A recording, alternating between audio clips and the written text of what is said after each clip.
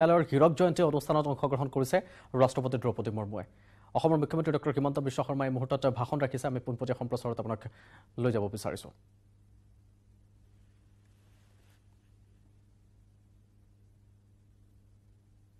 major catalyst in empowering our citizens so far their rights are concerned.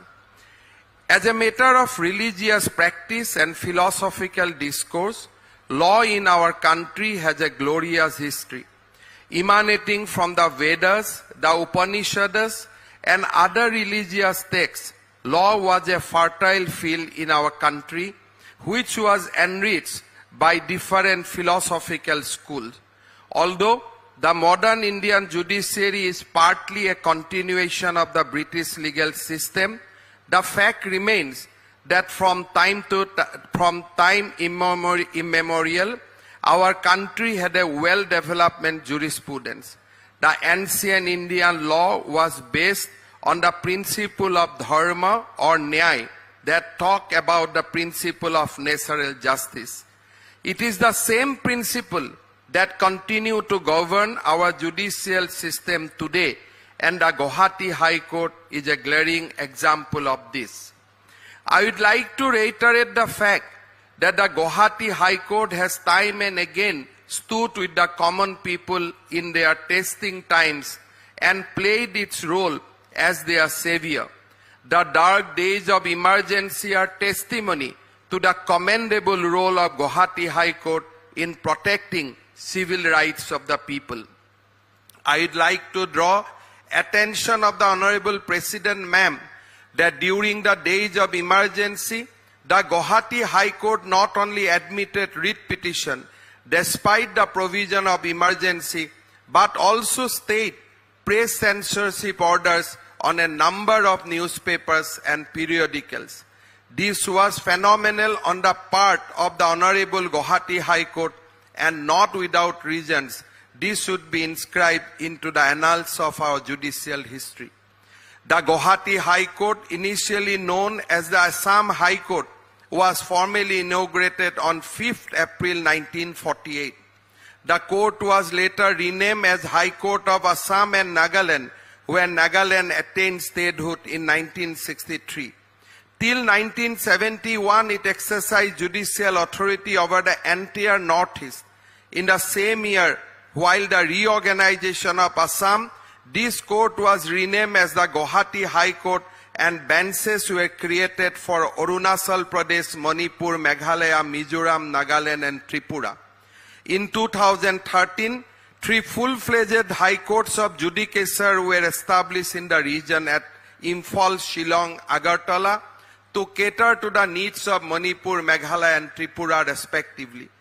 This illustrious history has given this high court a unique identity. This uniqueness stems from the fact that for a longer span of its existence, the Guwahati High Court was the common high court for all the seven states of our region.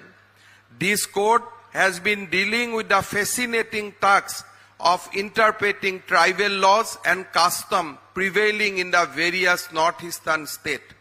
Mention may be made that traditional dispute redressal system are still in force in the larger area of northeastern state amongst various tribal clan as an alternative redressal mechanism. This court is having a law research institute mainly to undertake research work into various customary laws and administration of justice prevailing in this part of the country. Upholding this distinction of conducting research in this area, this court has a number of publications to its credit. This High Court also has judicial authority on subject falling under 6th schedule of the Constitution of India. The 6th schedule read with Article 244.2 and 275.1 of the Constitution of India forms a special provision for a number of states of Northeast. This High Court has always played a unique role in justice delivery so far as six schedule matters are concerned. At this momentous occasion, I'd like to draw attention of the August gathering to a very pertinent issue which is posting a constant challenges for our judiciary.